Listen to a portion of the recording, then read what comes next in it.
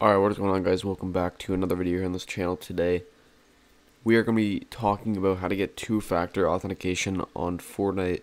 Um, this is in 2020 of May. And recently I just got 2FA from Epic Games and I don't personally don't have my own email because, uh, long story short, when I made my email or my Epic Games account, I used the email that I don't have, which is probably most of your guys' problems if you're watching this video. So I currently didn't have the uh, email, so I couldn't verify to get two-factor authentication and stuff. So if that's the case for you guys, make sure to stay tuned because I'm going to be teaching you guys how to get 2FA.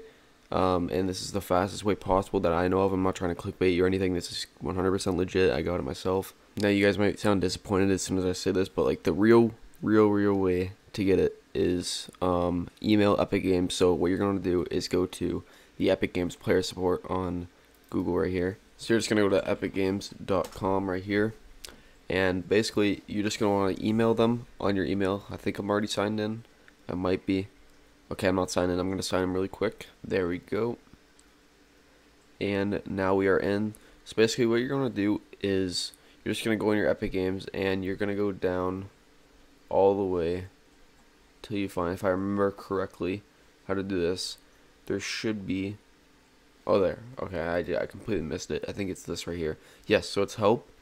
And um, basically, you're just going to email them uh, what your problem is. So what I said basically was, um, so I made my account back in like season one, and I can't get my email. And basically, they'll respond with like a automated thing. Uh, I think either the next day or the same day. And a couple days after, right now, because it's like all the Corona stuff going around, uh, they're a little like delayed so it took me a little while.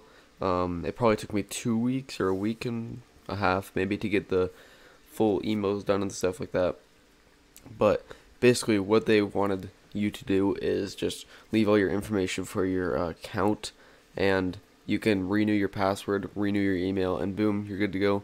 That's pretty much it. You just have to email them, and it's pretty straightforward from there. Uh, you can probably search up tutorials if you're like stuck on things. That's what I did because there's like a part that I didn't know what to do for, and I got stuck on it and I searched it up and there's tutorials everywhere.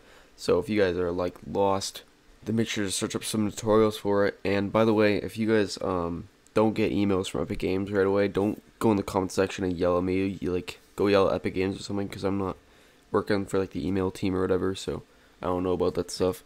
But anyway, that's a pretty straightforward video. It's a pretty short. I'm not trying to waste your time. Um, but anyway, if you guys enjoyed this, make sure to leave a like and subscribe, and I'll see you in the next one. Peace out.